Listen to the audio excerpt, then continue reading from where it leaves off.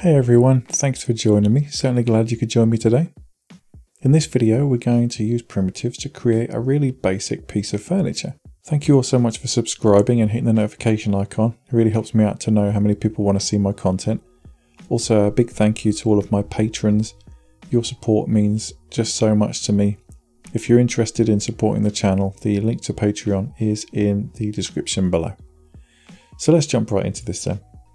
We've got here an empty scene and what we need to do is we need to start off by creating a primitive. We're going to create very simply a cylinder like so and we're going to set the length to about a meter and the diameter is going to need to be 0.01 like so and when we hit accept we see a really really thin stick basically and all we're going to do is we're going to select that stick and we're going to create some node instances of it. So we're going to create and we're going to create new node instances.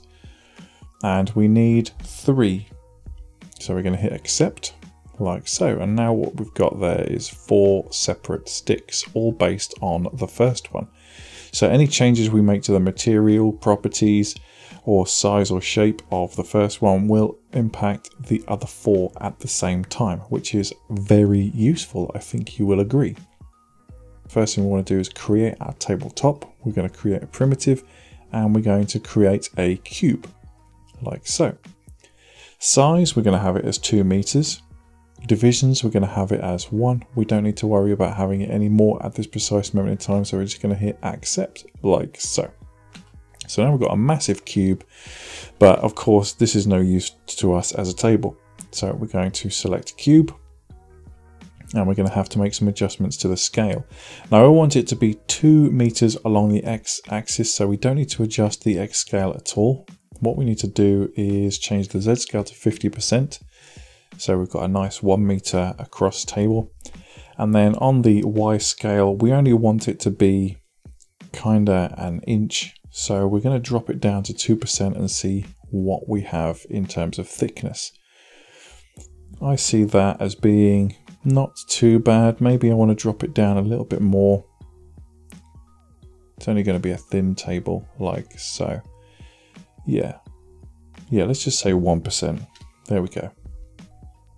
Perfect. Now we need to raise this up, uh, but we don't need to guess for this one because we know that our legs are exactly one meter tall. So we have to just put in 100 on the y-axis.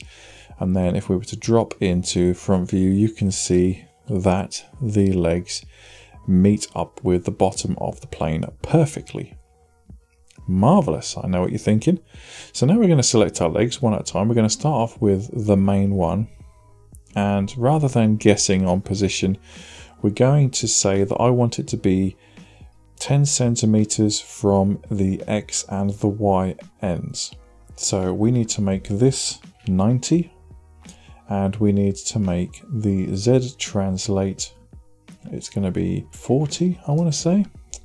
No, that's 10. That's no good. That's not what I said, is it? I wanted 40. So we're going to quickly just look and check that that's in the right position. So yeah, bang on.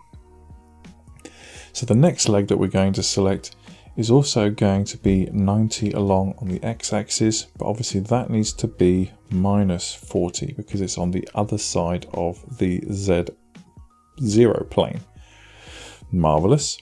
So our next leg, we're going to select and we're going to set this one to minus 90 on the x-axis and this one's also going to be minus 40. And then our last leg if we just select that, it's going to be minus 90 along the x-axis, but it's going to be plus 40 on the z-axis. And as we look around, there you go, our really simple table. so now what we're going to do is rename our primitives. So this one is going to be a table top, like that. And then we're going to rename this one just as a leg. And then we're going to parent all of the instances to the main leg and then we're going to parent the leg to the tabletop like so. And then when we select our table, we're going to move everything at the same time with it like this. The next thing we want to do is make sure that we don't accidentally click on one of the legs and move it around. So we're going to turn off the clickability of the leg and its instances by clicking on the mouse icon next to each of them.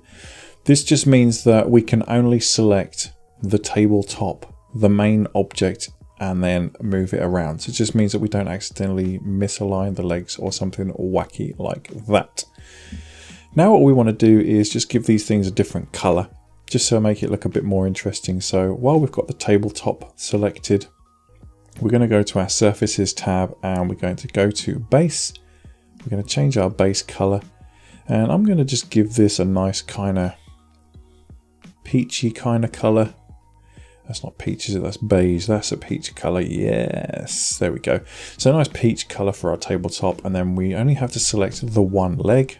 And when we go to base, we're going to change that to kind of a blue metallic kind of blue and as you can see the color of the other four instances has changed along with it which is V useful I think you will agree. Now what we're going to do is this table just looks kind of dull on its own so we are going to create another plane and it's going to be a plane like that, a new primitive sorry and we're going to be I'm going to make this 1.5 meters and divisions I'm going to give it 300.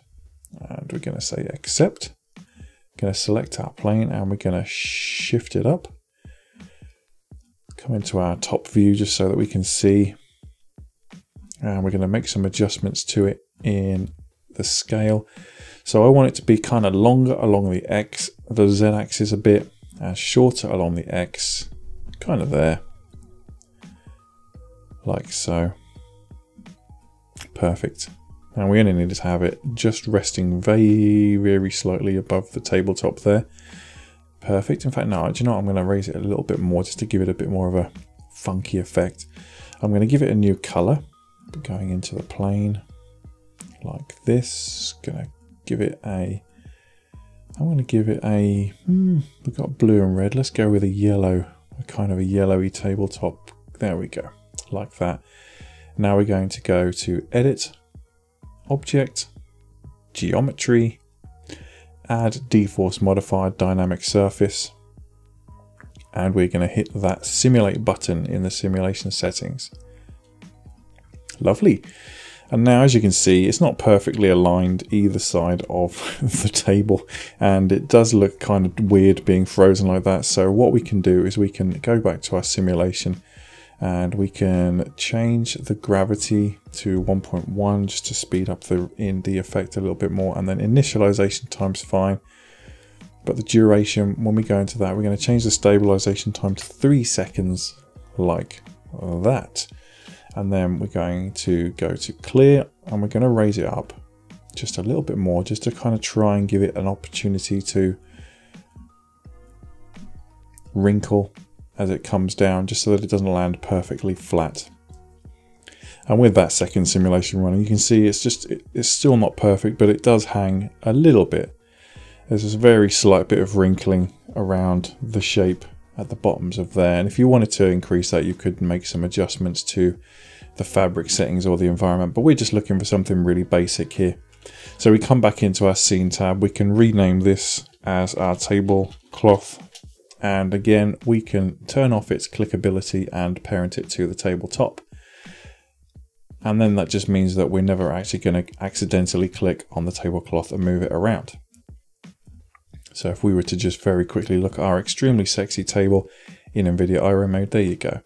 Nice and simple, really basic, but useful if you need a table in a fix. I hope you found this useful. Let me know what you think in the comments below, and I'll see you in the next one. Thanks very much. Bye bye. Thank you.